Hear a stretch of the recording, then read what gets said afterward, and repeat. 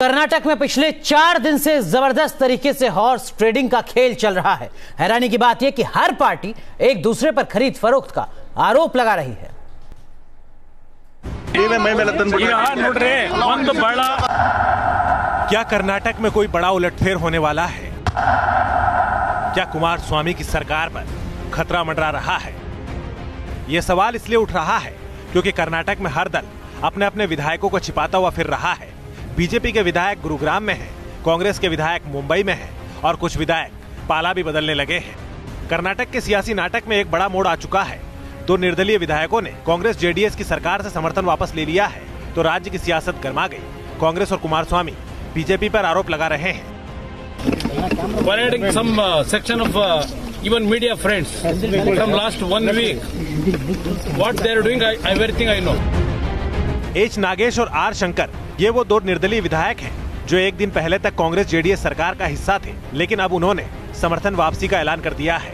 पिछले तीन दिन से चल रही सियासी गहमागिमी के बीच कांग्रेस और जेडीएस अलर्ट है। कर्नाटक में कांग्रेस के प्रभारी के सी वेणुगोपाल बैठक कर रहे हैं अपने विधायकों की एकजुटता का दावा कर रहे हैं। बीजेपी पर हमलावर हैं तो कुमार स्वामी भी हमलावर हैं।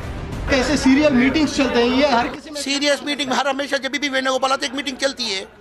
हमारे कर्नाटका की इंचार्ज है भाई वो हर टाइम मीटिंग करते हैं। अगर बीजेपी के कोई एमएलए आना चाहते हो तो आप लोगे सर। देख वो बात का ही कमेंट मानता है। कुछ लोग है ऐसे नहीं है कुछ लोग है मगर उससे कुछ नहीं होने वाला। हमारा सरकार बने रहेंगे। पाँच साल हम सरकार कर्नाटक में बढ़ाएँगे ये आरोप एक तरफा नहीं है। येदुरप्पा बीजेपी विधायकों के साथ गुरुग्राम पहुँचे। दावा है कि उन्हें एक होटल में रखा गया है। वैसे तो रविवार को अमित शाह से मुलाकात भी होनी थी लेकिन अब तक ये भेंट नहीं हो सकी है। और बीजेपी अब आरोप लगा रही है कि कांग्रेस उनके विधायकों को तोड़ना चाहती है। हमारे एमएलएस को अपनी तरफ़ आकर्षित कर, आकर्षण करने के लिए आ, हर तरह के आ, हर तरह के प्र- प्रलोभ उनको देना।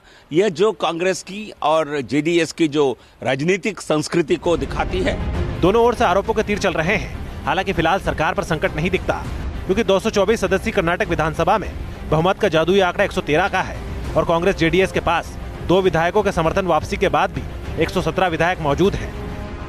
बावजूद इसके कर्नाटक के सियासी गलियारे में यह खबर तेज है कि बीजेपी सरकार के खिलाफ अविश्वास प्रस्ताव भी ला सकती है और इसी बात को लेकर कर्नाटक में राजनीति पूरे उफान पर है। इसका दावा है कि सब कुछ ठीक है, लेकिन जिस तरह से कांग्रेस नेताओं के बीच बैठकों का दौर चल रहा है, उसे साफ़ होता है कि कांग्रेस के भीतर उठा बवाल दिन ब दिन गहराता ही जा रहा है। वीडियो जर्नलिस्ट मोनीश के साथ मुश्ताक, न्यूज़ नेशन, बेंगलुरु।